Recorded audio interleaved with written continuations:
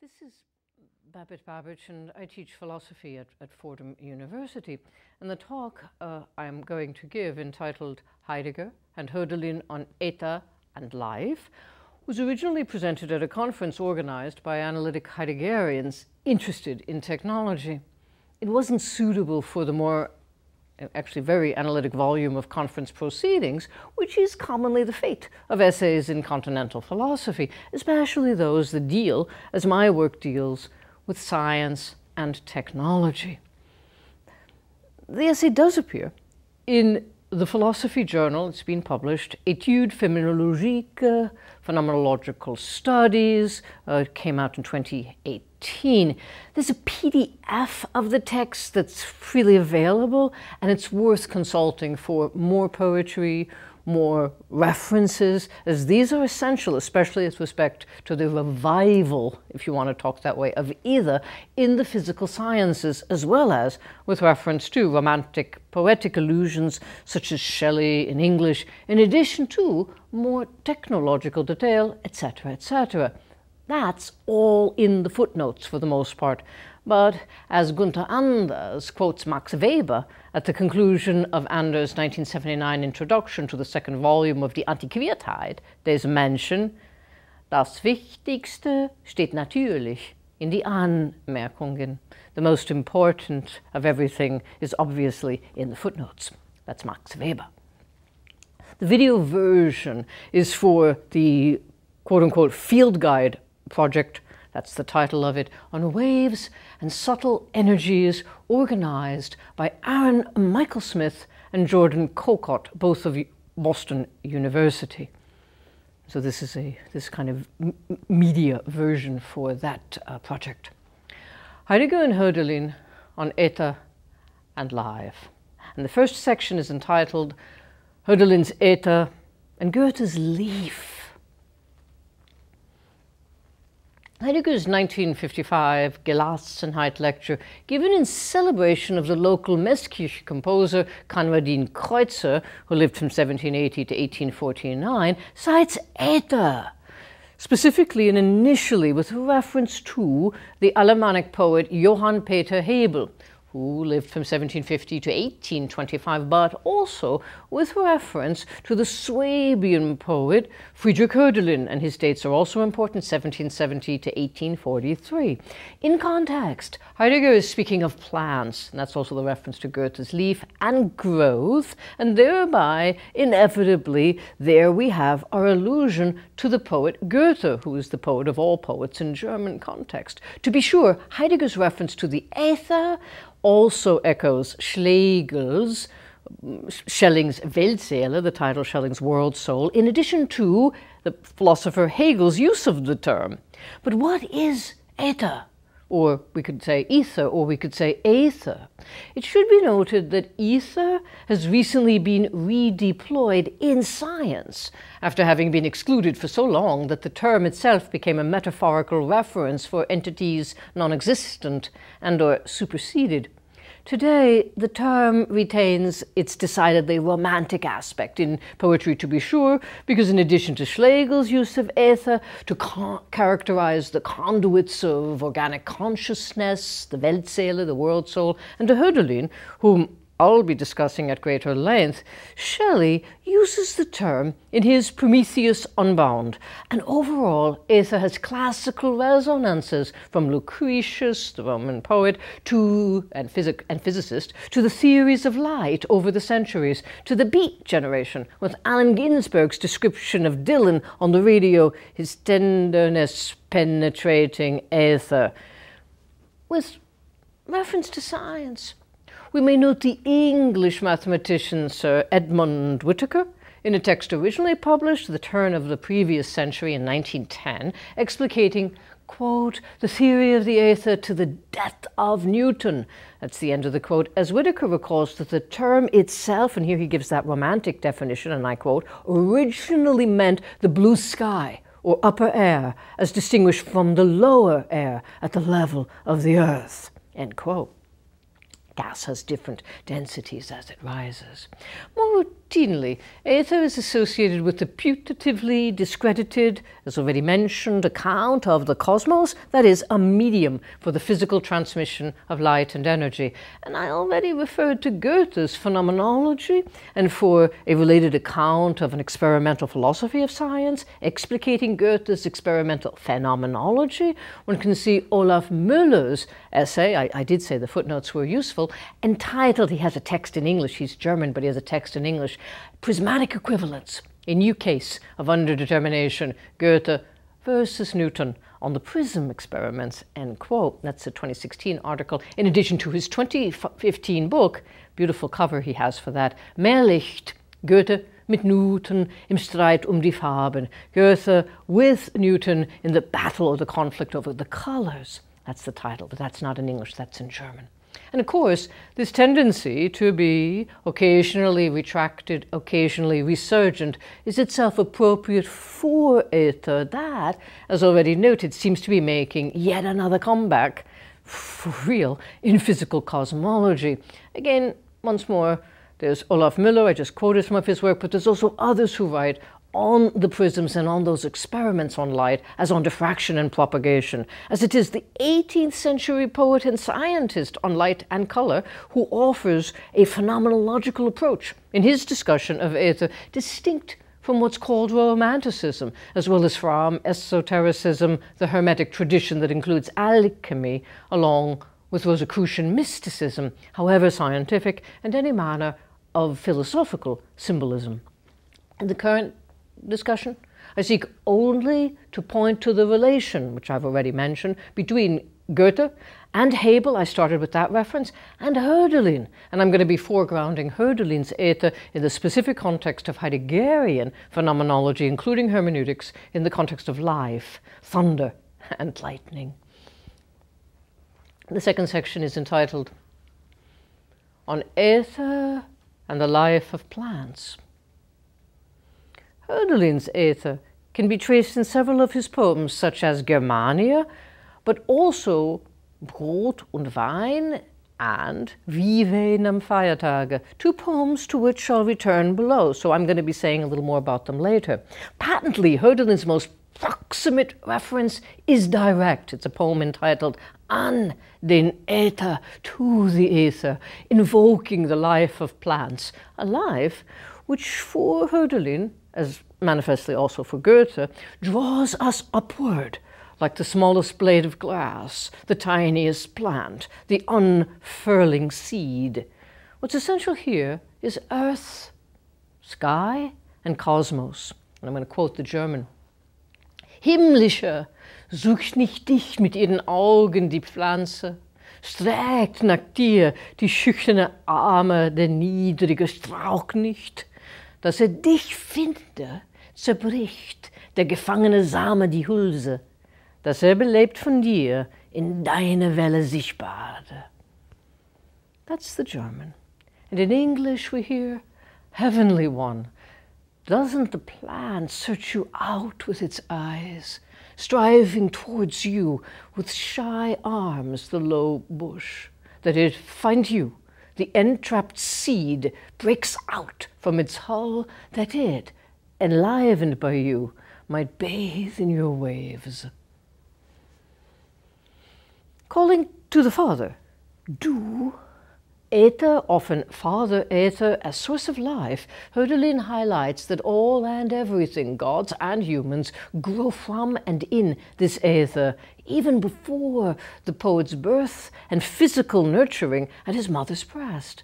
This is complex, if only because the touchstone with respect to the etheric is the very breathability of ionic charge, as the rogue classicist Peter Kingsley, to be sure in his least Rogue Reflection, it's a Clarendon Press book, underscores its distinction from air as such, raising in the case of Empedocles the question of air, the Greek word for air, at the height of atmosphere. For Hölderlin, this is the breath gifted, poured forth as heavenly drink. Those are his phrases, nothing less than a holy breath, first breathed into the sprouting breast, the poet's own breath, his own lungs. In more than one sense, the words we just heard, die beseelende Luft, The ensouled air is the source of all earthly life. And I quote the German again, nicht von irdischer Kost gedeihen einzig die Wesen, aber du nährst sie all mit deinem Nektar, o Vater, und es drängt sich und rinnt aus deiner ewigen Fühle die beseelende Luft durch alle Rohren des Lebens. Not alone, to quote the English, on earthly fare do these beings thrive, but you nourish all of them with your nectar, O Father, and it surges and streams from thy eternal fullness, the ensouled air, throughout all the veins of life. Again, note the language, beseelende Luft. This ensouled air. Channel 2, again the quote, all the veins of life, durchrohren des Lebens. The theorists of life, the botanist Matthias Jakob Schleiden and the physiologist Theodor Schwann, spoke of the morphology of such tubes and fibers in plants and animals as the background against which they could establish their ultimate cell theory as the basic building block of all life, the cell. The ether pulses or moves, and Hölderlin also speaks of waves as if alluding to the conflicts between the theorists of the propagation of corpuscles and wave theorists. This ether foams and overflows, filling the arteries of life. Some scholars seek to distinguish Goethe's notion of ether, leaving the scientific claims of the latter to be disputed, as remains the case to this day, between defenders of Newtonian science contra romantic others, and yet, as Lawrence Principe's historical study of this constellation, uh, articulated from the start in Principe's book entitled The Aspiring Adept, Robert Boyle, and his alchemical quest, Robert Boyle is, of course, a chemist, with reference to John Locke and also Basil Valentine, should make clear such articulations can tend to testify in spite of themselves, even in spite of the historian himself, Principe is a history, historian of philosophy, to a recalcitrant and Whiggish blindness to history. For both Hölderlin and Goethe, the movement is the movement of vertical aspiration, ascent, joyful growth. Thus, to repeat the final lines of the second verse, Darum lieben die Wesen dich auch und ringen und streben unaufhörlich hinauf nach dir in freudigem Wachstum. We hear that in English, therefore all beings love you, as well and contest and strive unceasingly upward towards you in joyous aspiration, joyous flight. Hölderlin translates the tones of this movement into animal life leaping like a zephyr as he rides, arched already in the curved neck of stallions who seem barely to touch the ground, a deer spinning and turning in the forest like the wind, scarcely to be seen, rustling in the leaves. The beloved, Hölderlin tells us, of the ether is thus akin to the happiness of birds, free not only in the air, but including the electric allure of the desire to be carried off as the boy by the eagle father Zeus, and we know his name, Ganymede. The penultimate verse may illuminate Heidegger's concept of irren, erring, errant, wandering, and as we read Hölderlin, it's patent that the driving treiben includes errancy from its very first lines. We hear again, Töricht, treiben wir um, umher, wie die Eden Wildly in the English, we are driven to and fro as the wandering vine. The poet traces the urgency of plant growth. Spring is about to come, and we'll see that as the Greek word for nature, phusis. That tis to say, what grows of itself, out of itself, like the vine that loses its support, wild. The focus is on what we do in life as we live and as we are spread across the land in our aspiration and in our vanity. Here it's worth recollecting that truncated force with which Goethe's Erdgeist, the spirit of the earth, rebukes Faust, barred as he is from knowledge of what is not Faust's own, meaning excluded, as Faust is excluded from the Erdgeist's dominion. We'll quote the German first, because this is Goethe. Du gleichst dem Geist, den du begreifst. You are resemble or you are similar to the spirit that you comprehend. Here, to cite Goethe further can be informative. We'll quote the German again. Du flehst, eratmend mich zu schauen, meine Stimme zu hören, mein Antlitz zu sehen. Mich neigt dein mächtig Seelenflehen. Da bin ich. Welch erbärmlich grauen, fast übermenschendig. Wo ist der Seelenruf?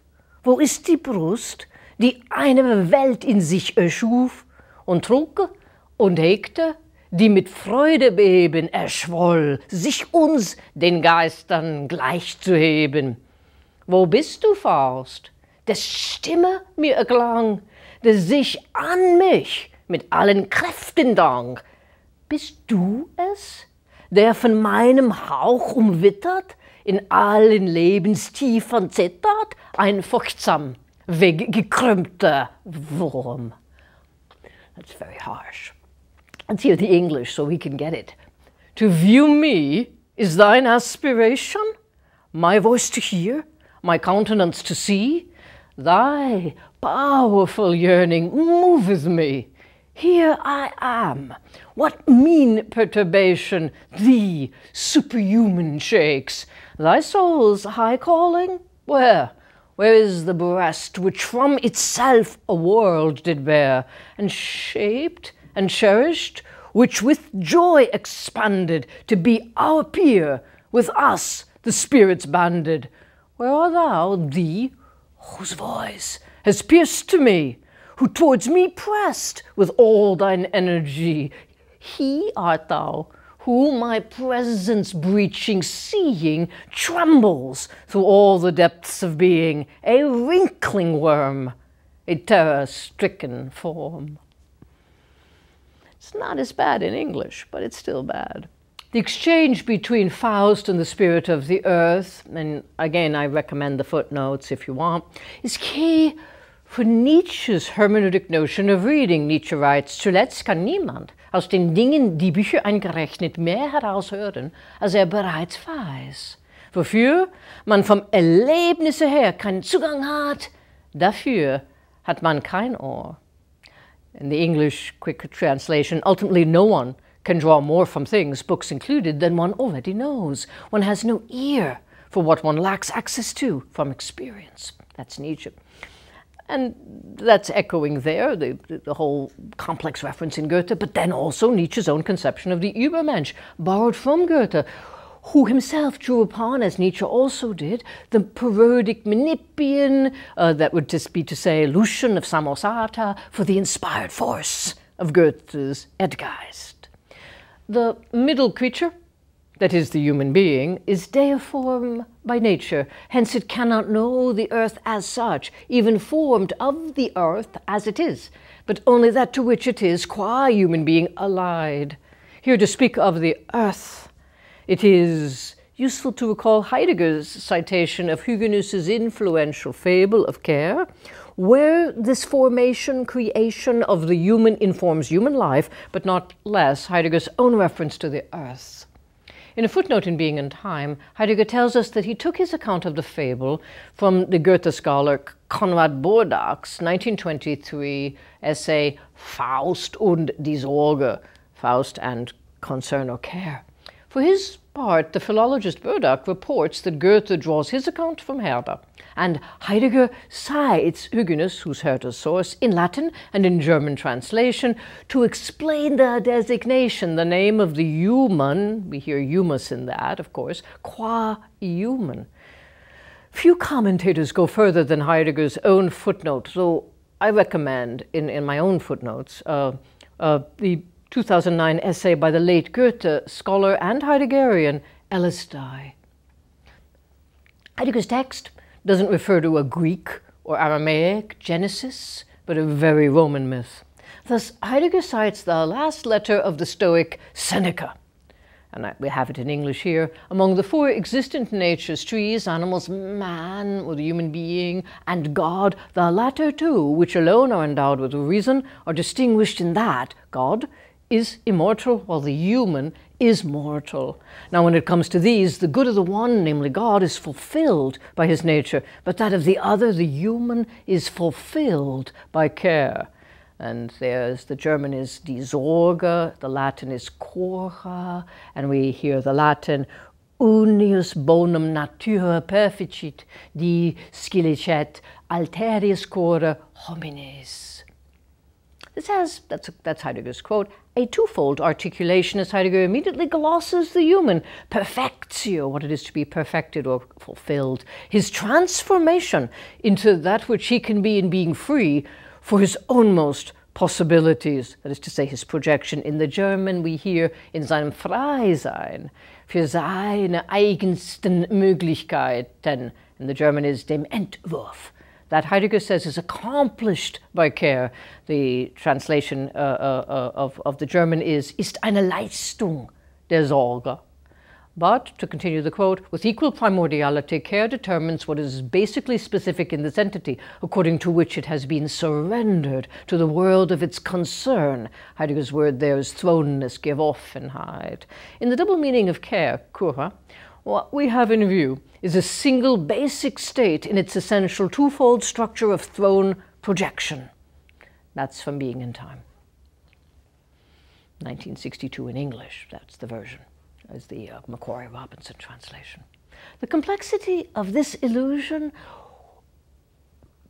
to care, to Hyginus, to the fable, to the creation, points to a fundamentally divided nature of the human being, which is not, although formed of clay, that's the story of creating the human from clay or earth, of the earth, qua form or inspiration, even as it has its name from the same humus or clay. Hölderlin's verses, by contrast, foreground not the Latin, but the Greeks, as we've seen, even the older gods, the Titans, extending to the ocean and the wave, like the verses Hölderlin quotes from Sophocles, and in, in, in, in, in, in, in actually the person I'm quoting now is actually Heidegger. Heidegger is quoting from Sophocles in Heidegger's introduction to metaphysics, as, according to Sophocles, the wandering ship is driven in search of the saving strand. As with Sophocles' ode, as Heidegger reads this, Hölderlin, who also has an ode, An den Äther, articulates the human relatedness to the divine. Here, I can point to no more than a parallel with Heidegger's reading of Hebel in the spirit of his 1955 lecture Gelassenheit, as Heidegger closes his memorial lecture with Hölderlin's own closing verse lines from Hölderlin's poem An den Äther, and I'll quote that in German first. Aber indes ich hinauf in die dämmende Ferne mich sehne, wo du, fremde Gestalt, umfängst mit der bläulichen Woge, kommst du säuselnd herab von des Fruchtbaums blühenden Wipfeln. Vater Äther, und sänftigest selbst das strebende Herz mir, und ich lebe nun gern wie zuvor mit den Blumen der Erde. Which lines I cite in English, but while I long to ascend into the twilight distance, where you embrace foreign shores with your blue tinted waves, you come whispering down from the fruit tree's blossomed peak, Father Aether, and soften yourself this my striving heart, and I live gladly now as before with the flowers of the earth.